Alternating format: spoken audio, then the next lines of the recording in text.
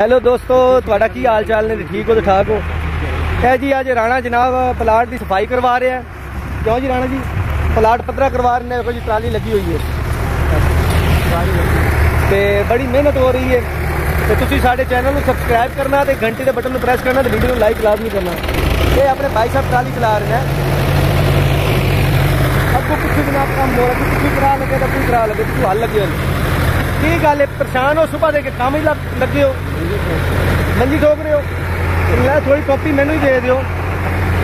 ਅੱਛਾ ਜਨਾਬ ਅਸੀਂ ਜਨਾਬ ਆਏ ਆ ਗਰਮੀ ਬੜੀ ਜ਼ੋਰ ਦੀ ਜ਼ੋਰੋ ਸ਼ੋਰਾਂ ਦੀ ਪੈ ਰਹੀ ਹੈ ਇੱਥੇ। ਕਿਉਂ ਜੀ ਸ਼ਵਾਬ ਸਾਹਿਬ? ਗਰਮੀ ਕਿੰਨੀ ਕੁ ਪੈ ਰਹੀ ਹੈ? ਗਰਮੀ ਬਹੁਤ ਪੈ ਰਹੀ ਹੈ। ਗਰਮੀ ਬਹੁਤ ਪੈ ਰਹੀ ਹੈ। ਕੋਈ ਕੀੜਾ ਸ਼ੀੜਾ ਵੀ ਨਿਕਲਿਆ ਨਹੀਂ ਇੱਥੋਂ? ਕੀੜਾ ਤੇ ਨਿਕਲਿਆ ਸਭ ਤੋਂ- ਮਕੌੜਾ ਨਿਕਲਿਆ। ਕੋਈ ਨਹੀਂ ਨਿਕਲਿਆ ਕਿਉਂਕਿ ਬੂਟੀਆਂ ਜੂਟੀਆਂ ਨਾ ਆ ਗੰਦਗੀ ਪਈ ਹੋਈ ਸੀ ਸਾਰੀ ਸਫ਼ਾਈ ਸੁਥਰਾਈ ਕਰਵਾਈ ਹੈ। ਠੀਕ ਹੈ। ਇਹ ਤੁਹਾਡੇ ਸਾਹਮਣੇ ਜਨਾਬ ਟਰਾਲੀ ਵਾਲਾ ਬੰਦਾ ਲੱਗੇ ਹੋਇਆ ਹੈ, ਠੀਕ ਹੈ ਇਹਨੇ ਲਿਆ ਜੀ ਇੱਕ ਘੰਟੇ ਦਾ 2000 ਰੁਪਇਆ 2000 ਲਿਆ ਨਾ 2000 ਰੁਪਇਆ जी लिया जी घंटे का ठीक है ये जनाब अपना खान भाई ट्राली चला रहा है और जमीन को हम बराबर कर रहे हैं तो दोस्तों हमारे चैनल को सब्सक्राइब करना घंटी के बटन को प्रेस करना वीडियो को लाइक लाजमी करना है क्यों खान भाई क्या हाल है ठीक है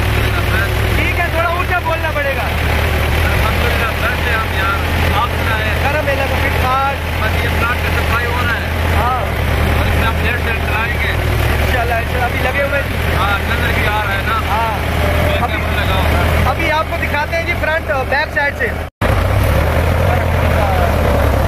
ये देखो जी ट्राली जनाब अभी बैक जा रही है सफाई हो रही है सारी सफाई सुथराई की है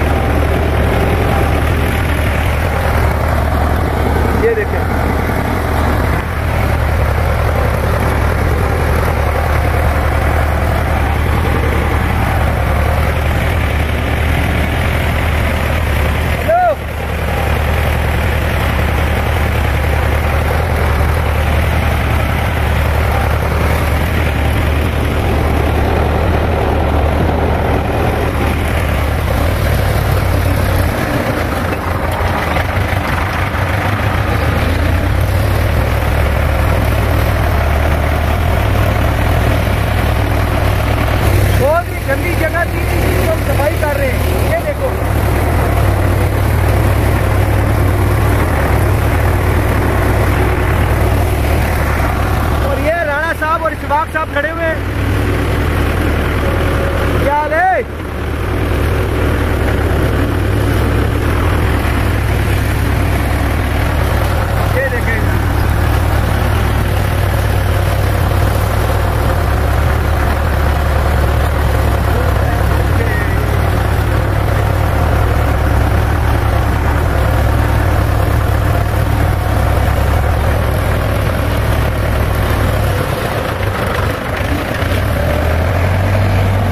दोस्तों, अभी हम राणा के जनाब प्लाट में आए थे। ये देख सकते हैं, प्लाट की सफ़ाई सुथराई होगी है। ये देखें, ठीक है?